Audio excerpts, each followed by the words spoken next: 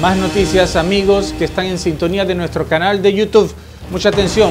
Capturan a más soldados de Nicolás Maduro. La FAM queda inoperable.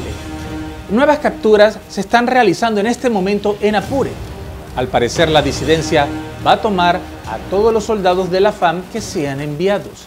Esto solo empeora la situación de Nicolás Maduro, que ha quedado en evidencia que no puede con estos disidentes. Padrino López tiene a su disposición 3 millones de soldados entre la FAM y quizás algunos milicianos. Eh, tiene mucho armamento, misiles, aviones Sukhoi, supuestamente, como él lo ha dicho en otras ocasiones, capaces de hacer temblar a los Estados Unidos. Ha dicho incluso que están preparados para cualquier combate con el imperio. Pero ahora su actitud hacia los grupos que tienen capturado a los soldados es básicamente de, pedir un favor, de estar rogando que por favor liberen a los capturados. Incluso creó un hashtag en redes sociales de liberen a los patriotas. Han solicitado por eso la renuncia de Padrino López. Pero lo peor es su forma de solicitar que liberen a los soldados. Ha hecho también una serie de anuncios sin sustento rogando que los suelten, que suelten a los patriotas. De hecho hizo un video en donde se ven a varios soldados diciendo en coro, liberen a los patriotas. Esto habría sido muy desagradable para los altos mandos militares, para todas las personas que conocen cómo funcionan los lineamientos militares. También ha sido muy desagradable, muy triste para los soldados y familiares eh, de estos sujetos que han sido capturados. Pareciera que Padrino López quiere que lo despidan o alguien eh, lo está saboteando para que tenga que renunciar. Es algo vergonzoso y deplorable. Lo peor es que él está apelando al pueblo como para que, pobrecitos, pero la FAM por ahora no ha hecho nada por el pueblo.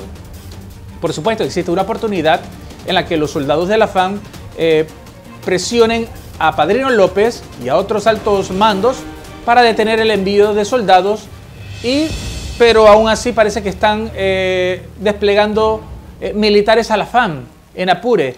algunos serían voluntarios, otros serían engañados y otros serían sobornados básicamente hay información sobre nuevas capturas de militares venezolanos y esto va a empeorar más y también a nivel internacional. Estos habrían sido capturados por el Frente Décimo de las Disidencias, un grupo que está en combate en contra de la FAM y también en contra de los grupos eh, de Nicolás Maduro. Eh, mientras tanto, no han informado nada al Estado venezolano, ni a los militares, ni a la familia. O sea, Padrino López nuevamente viene con un gran error al no anunciar estas eh, nuevas detenciones. La FAM de esta forma queda completamente inoperable. Las disidencias y otros grupos armados se han dado cuenta de la debilidad que existe en la FAM y que tiene Nicolás Maduro y están tomando partido. Están dando de baja poco a poco a otros integrantes del grupo rebelde de Maduro.